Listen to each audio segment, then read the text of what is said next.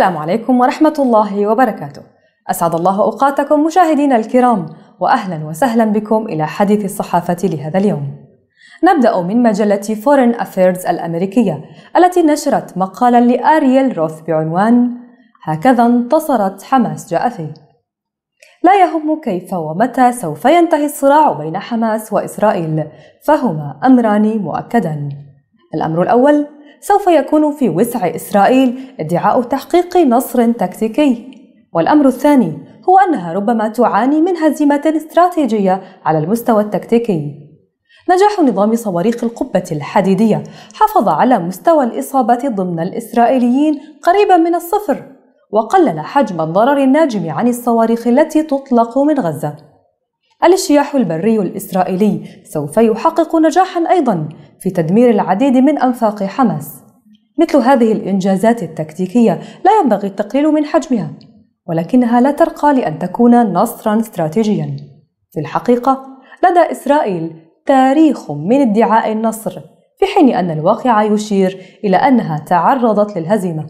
حرب أكتوبر عام 1973 أفضل مثال على ذلك. ادعت إسرائيل أنها انتصرت لأن قواتها أنهت الحرب على الجانب الغربي من قناة السويس ولكن الحقيقة هي أن مصر حققت نصرا استراتيجيا. ربما تعتقد إسرائيل لعدم وجود أعداد كبيرة من القتلى الإسرائيليين يشير ذلك إلى فشل حماس ولكن الإسرائيليين مخطئون في هذه النقطة أيضا. قتل أعداد كبيرة من الإسرائيليين سوف يكون بمثابة جائزة صغيرة لحماس ولكن ذلك لن يكون أمرا حيويا وفقا لتعريف حماس لنجاح الاستراتيجي.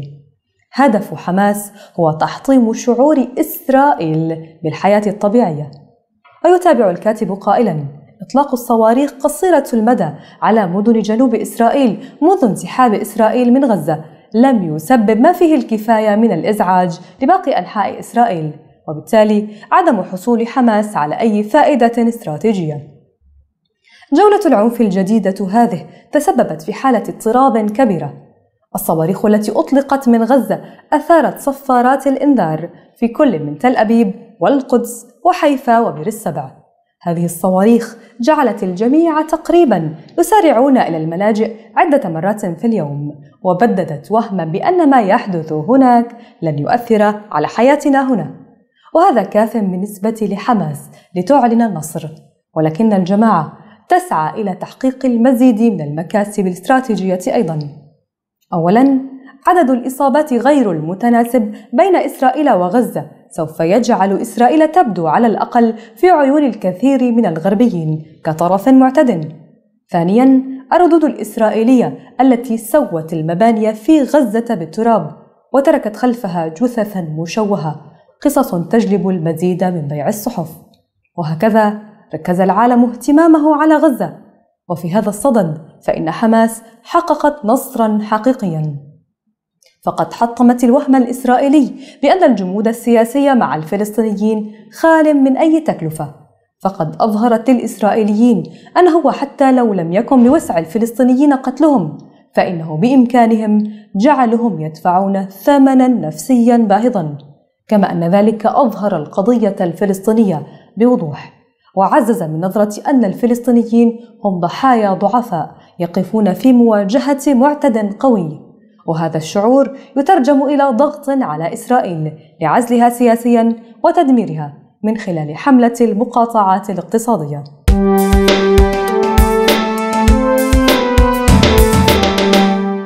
أما وكالة أكل إيطالية للأنباء فقد نشرت موضوعا عن تواصل القافلة الثقافية السورية لجولتها الأوروبية تحت شعار الحرية لشعب سوريا. القافلة الثقافية السورية تجوب مدنا في كل من فرنسا وإيطاليا والنمسا وألمانيا وسويسرا، وتحاول وفق المشرف عليها التأكيد على أن الثورة حرت الإبداعات قبل الانتصار السياسي والتخلص من الدكتاتورية. والقافلة الجوالة التي انطلقت من باريس في الثاني عشر من الشهر الماضي وتستمر حتى نهاية الشهر الجاري.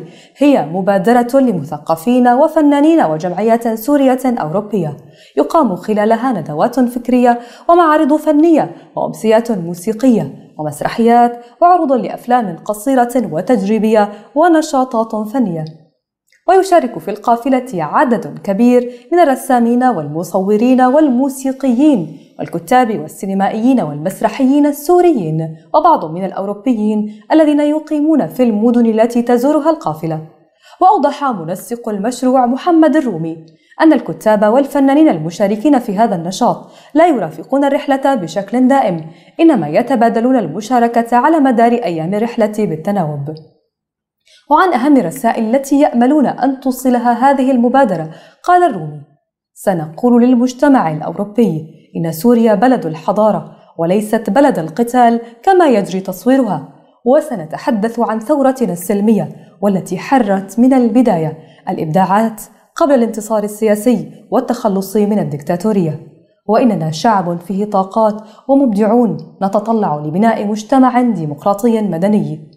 ووفق منسق المشروع فإن القافلة تغطي كافة المصاريف من المشتركين والتبرعات التي يقدمها أفراد وجمعيات تعبيرا عن تضامنهم مع النضال التحرري للشعب السوري وأشار إلى أنها مبادرة شخصية لم تطلب الدعم من المعارضة السورية.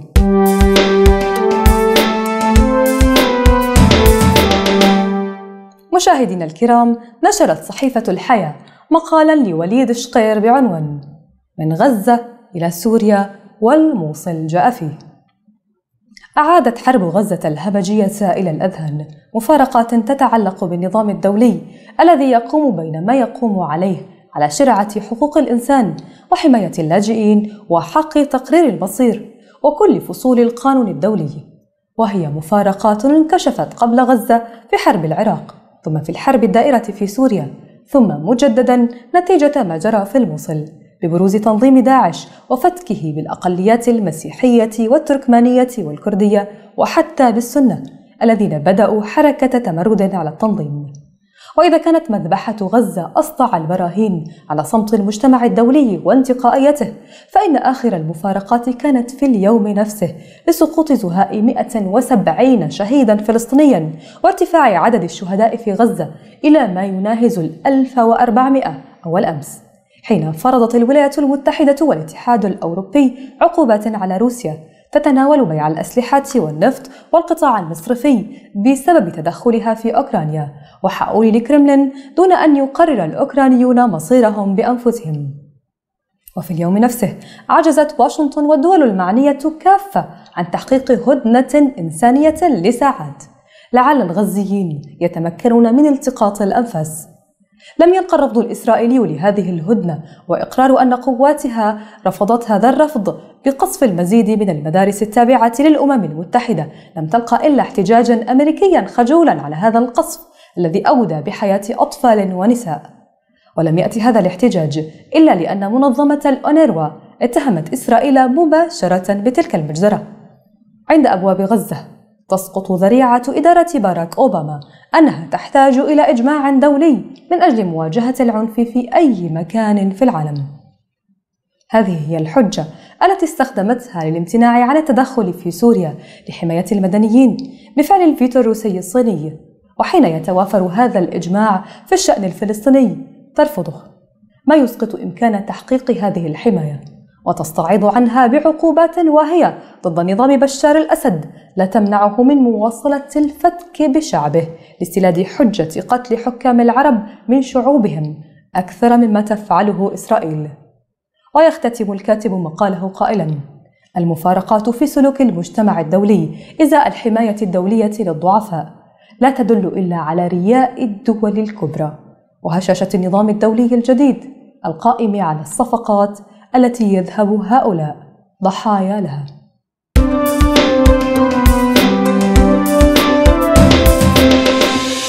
ننتقل الآن مشاهدينا الكرام إلى موقع العربي الجديد الذي نشر مقالا لميشيل كيلو بعنوان معركة غزة الأسدية. جاء فيه.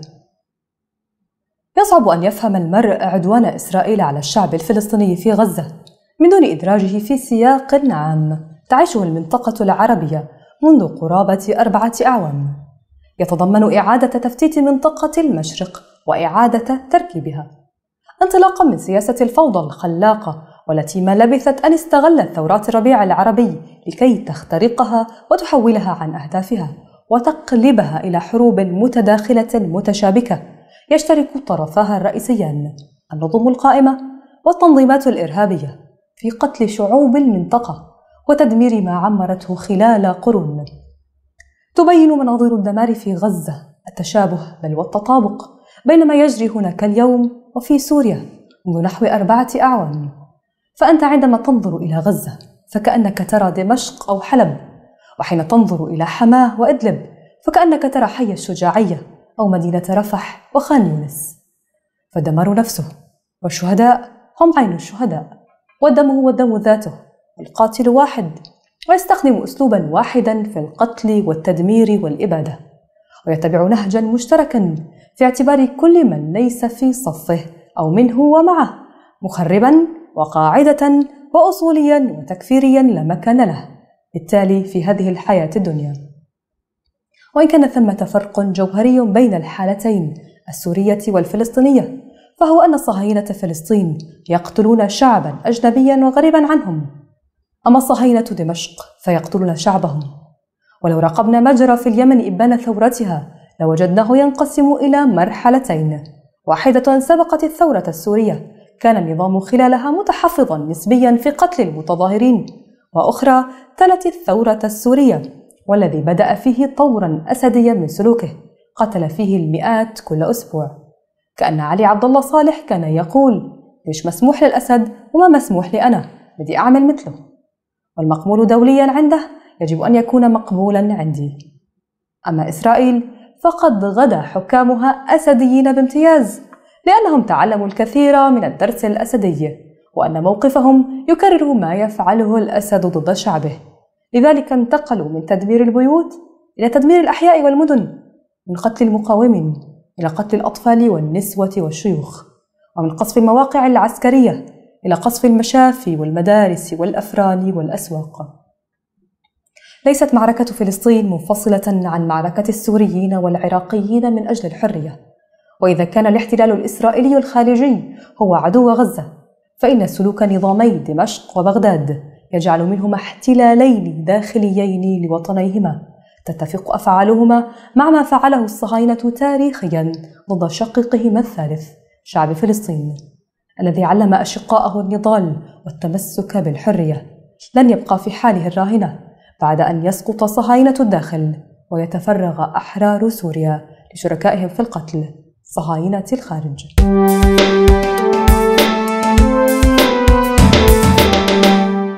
نواصل مشاهدينا مع صحيفة القبس الكويتية التي نشرت تحت عنوان مهندسو حماس تفوقوا حتى على الفيتكونغ حركة مقاومة مسلحة فيتنامية. يقول الجيش الإسرائيلي إنه لن يوقف عدوانه على غزة قبل تدمير الأنفاق التي يستخدمها المقاتلون الفلسطينيون للعبور إلى إسرائيل. هذه الشبكة المتطورة من الممرات والموجودة تحت الأرض ليست وليدة اللحظة بل مؤشر على بنائها قبل خمسة عشر عاما لتهريب السلاح والبضائع من مصر. وقد نقلت حماس فن حفر الأنفاق إلى مستوى جديد كليا وخلال الأعوام الماضية تمكنت حماس من بناء سلسلة من الدشم الموجودة تحت الأرض والمرتبطة بشبكة متطورة من الأنفاق ذات المداخل والمخارج الكثيرة.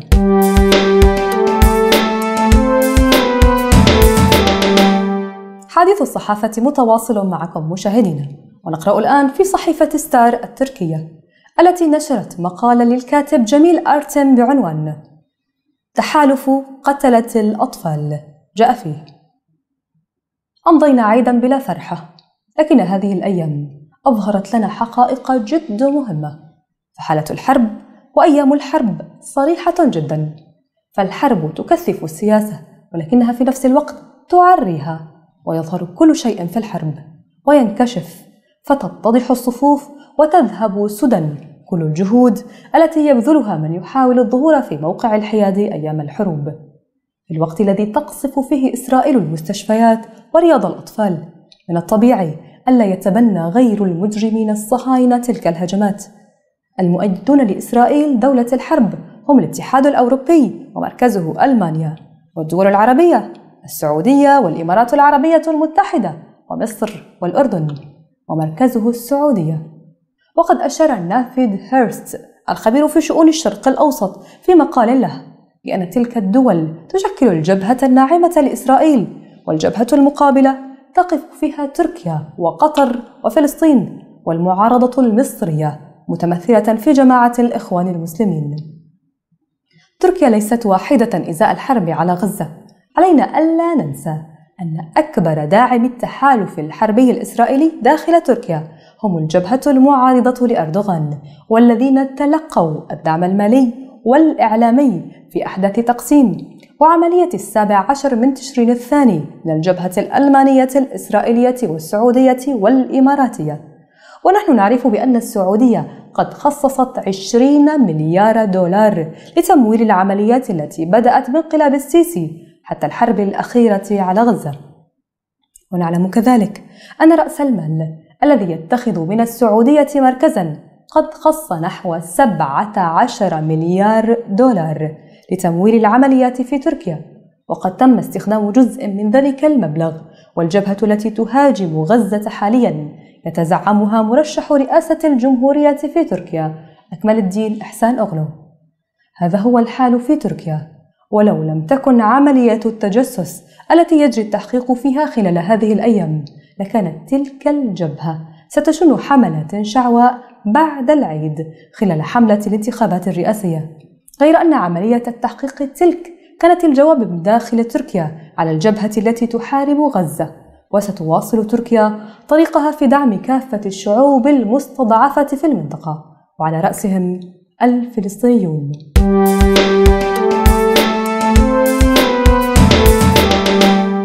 نصل مشاهدينا الكرام إلى آخر مقالاتنا في حلقة اليوم حيث نشرت مجلة أكسجين مقالا بعنوان عيدكم باك أيها السوريون جاء فيه.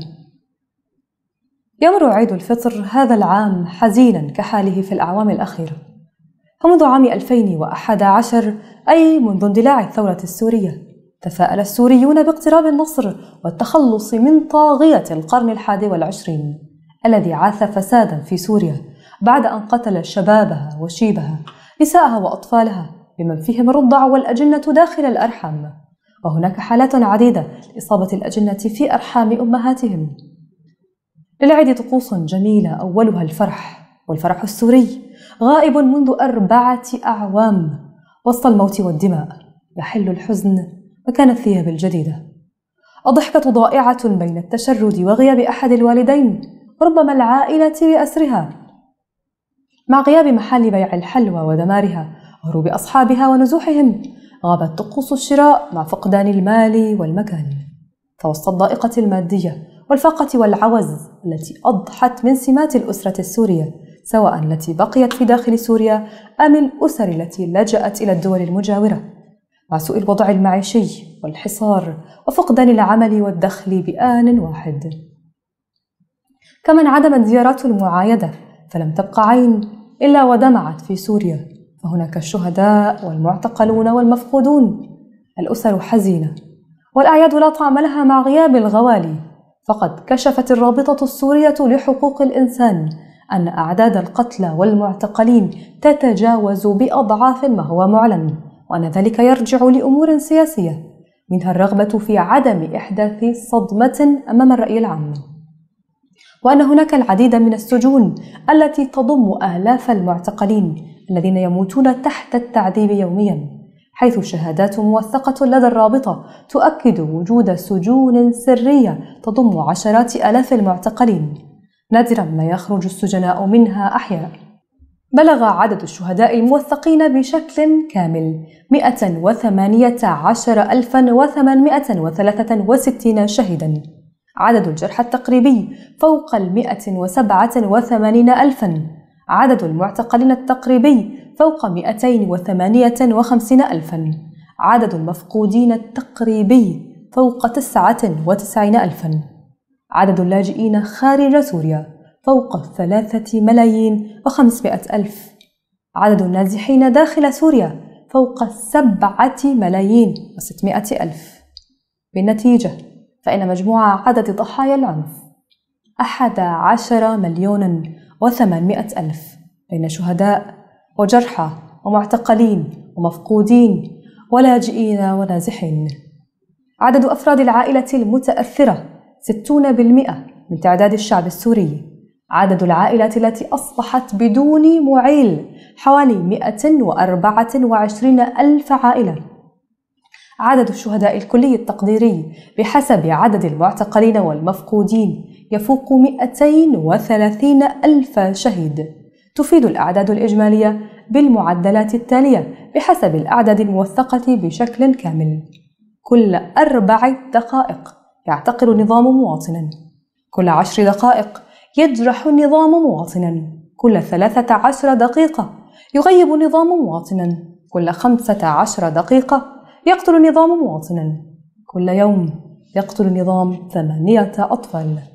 كل يوم يقتل النظام أربعة مواطنين تحت التعذيب. كل يوم يهجر النظام ثلاثة آلاف وأربعين مواطنا وينزح ستة آلاف وخمسمائة مواطن داخل الوطن. هذا هو ثمن حريتكم أيها السوريون حتى يأتي عيدكم الحقيقي. بحريتكم الكاملة. إلى هنا مشاهدينا الكرام تنتهي جولتنا من حديث الصحافة لهذا اليوم. أشكر لكم حسن متابعتكم. ألتقي وإياكم مجددا غدا إن شاء الله. دمتم في رعاية الله والسلام عليكم ورحمة الله وبركاته.